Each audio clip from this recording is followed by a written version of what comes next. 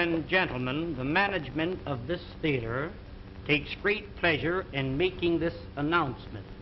To each lady attending this theater each week, will receive absolutely free a fascinating 12-piece kitchen cutlery set, one piece each time. It is really interesting and amazing to know how you can prepare your meals in an appetizing and pleasing manner. There's an old saying, and a true one, that what is pleasing to the eye is bound to be pleasing to the appetite. I'm going to demonstrate this set to you, and I want you to watch it very closely. The first cutter that I'm going to show you, now this first one is known as the Parisian cutter. Wind it through the potato like a corkscrew. When the cutter appears on the opposite side, pull the cutter out. Place the handle in the center and twist it out. This is what they call a French curl. When you fry these, they come out like donuts, nice and brown. Serve them with your steaks or pot roast them. Unwind it, there's two curls out of the one potato. Tomorrow morning for breakfast, wind a little strip of bacon around the potato and serve them with bacon and eggs. They're delicious. Different colored vegetables, wind them together and you get the two colors. Here's a little trick cut. Split the curl halfway through the center. If you're making a shrimp salad and you happen to run short of shrimp, mix these in with the regular shrimp. On my word, you couldn't tell the difference until you start to eat 'em. Now, the rest of the potato, you stuff it. We'll call this a little chicken. We'll call this here some hamburger. You might have a little meat that's been laying in the ice box for a few days. Chop the meat up fine, season it highly, stuff it into the center of the potato and bake them with the skins on. When they're done, cut them in two. Serve them on the half shell just like that. Serve them in slices when company calls. The more company you have, the thinner you cut the slices. If your mother-in-law calls, give her a beak piece like that. Now, the second tool in the set is known as the garnishing knife. Everything you cut with this must come out fancy. Watch this, please. You cut down, you turn the potato, and then you cut through the edge.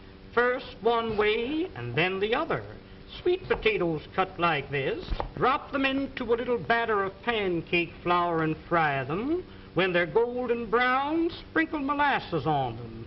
Serve them with strips of bacon for breakfast while they're delicious. Here's beets, you pickle them, and carrots, you steam or cream them. In making the original French fried potato, cut them in thick slices. Put them one on top of each other. Cross-cut the slices, and you'll never eat a French fry any other way. The potatoes cut like this will not absorb the fat because they're garnished around.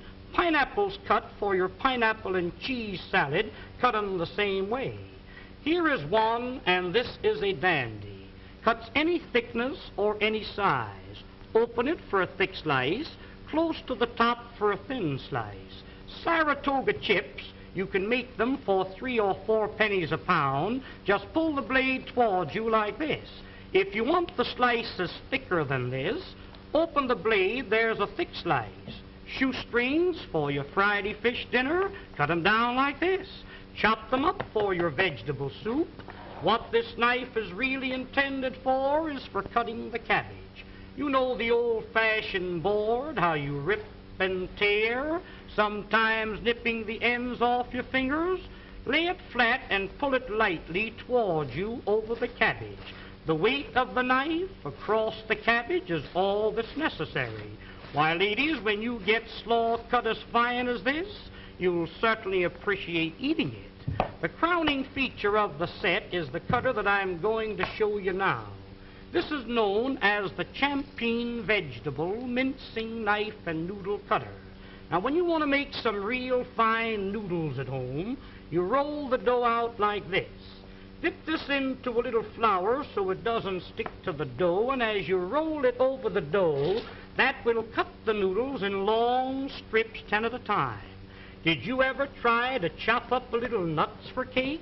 I've seen ladies chop nuts and the nuts land up on the ceiling. Sometimes you chop the ends off your fingers when you want to chop up a little nuts for cake, cooked meat, clams for chowder, soup greens to throw into your soup, making a little pepper or chicken hash is just a few strokes rolling it up and down. Why, here is without a doubt the meanest thing in the world to cut parsley. Put that in a grinder, you really grind it too fine.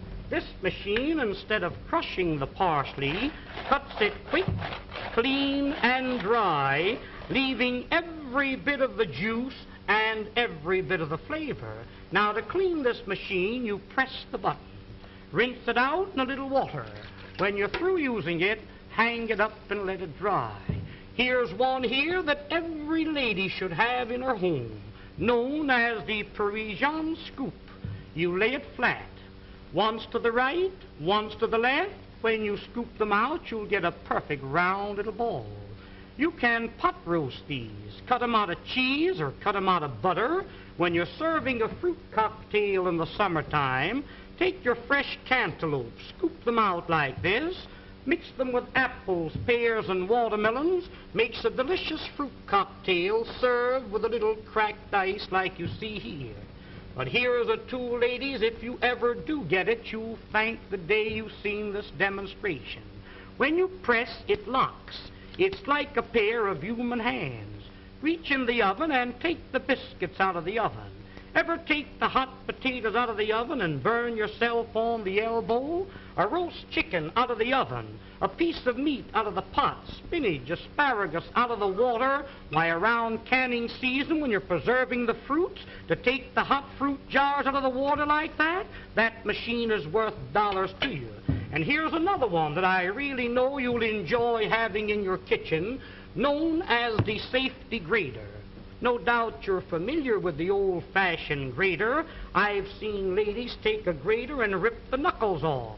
When you want to grate up potatoes for delicious potato pancakes, this has a smooth, flat edge, impossible to cut yourself.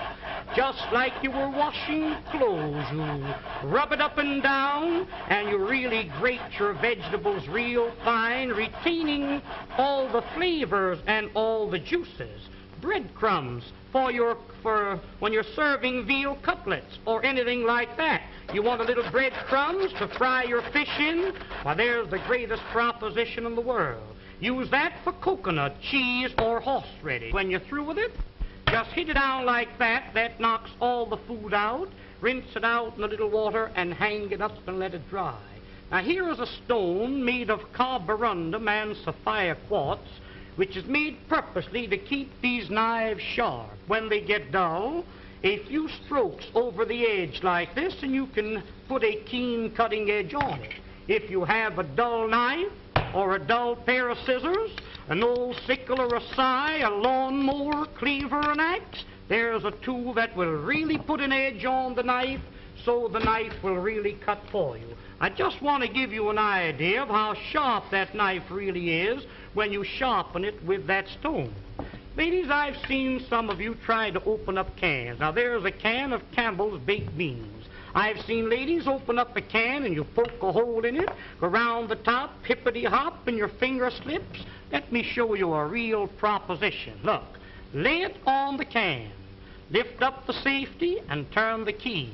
That locks itself on the can. No harder than you were winding up your watch. Wind up the key and that'll cut the top off of the can slick and smooth. Notice how the end raises itself up in the air so you can lift the lid off, giving you a clean, smooth edge. Now that can be used for sardine cans, square cans or round cans, exactly the same way. Now this tool here, my dear friends, needs no introduction. This will save you on an average of 20 to $30 every year you use it as a peeling knife. Here's a grater for cheese, coconut, or horseradish, a fish scaler for scaling your fish, and when you're coring your apple, it's just a slight twist of the wrist, and there's the apple core. There's one more tool that I want you to see, and I want you to watch this one very closely. Many a times when you're baking a pie, you have a pudding in the oven. I've seen ladies wrap a towel around your hand, and many a times you burn your fingers. Hook this onto the pot like this and lift the hot pots off the top of the stove. You've got a pie pan in the oven? Get a hold of the pie pan like this. Why, you couldn't get it off with a team of horses. This will positively lift 100 pounds. There's a pail of water weighs 50 or 60 pounds. That's the way you pick it up. But there's one more tool. I'll be all through and I'll be finished. Oh, now the next tool and the last one is what they call the Sarah Bernhardt cutter. This was invented by the head chef of the Imperial Hotel in the city of Berlin, Germany. You place the screw into the center of the vegetable. Twist the vegetable until the threads catch a hold, then you wind this up. You keep winding until you utilize the whole potato. The faster you turn, the quicker the slices. Why, ladies, here's a machine for slicing onions. The first onion that you slice with this cutter, you'll bless the day you've got a hold of it.